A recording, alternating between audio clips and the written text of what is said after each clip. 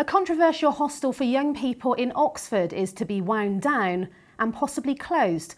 One Foot Forward on Iffley Road has been described as housing a lethal cocktail of young people, and nearby residents have complained about antisocial behaviour for the last decade. Now the County Council is planning several smaller units instead. Catherine de Costa reports. Number 5 Iffley Road. This four storey terrace is home to around 20 homeless and vulnerable young adults. For many, though, they're unwanted neighbours. People are very concerned about the behaviour outside the entrance to the buildings, things like abusing passers by, there have been robberies of passers by. There have actually been fights outside the entrance as well. This altercation was recorded by our own camera crew back in November.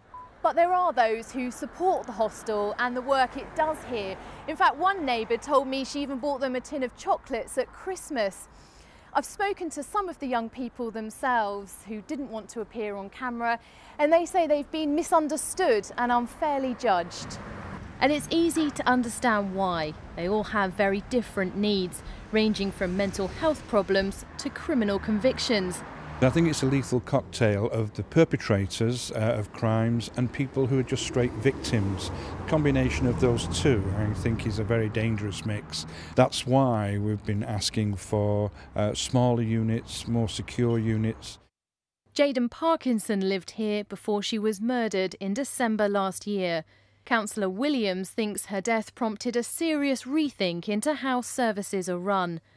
The County Council says plans for four new smaller homes have been on the cards for a while. The first is expected to open later this year. Catherine de Costa, BBC South Today.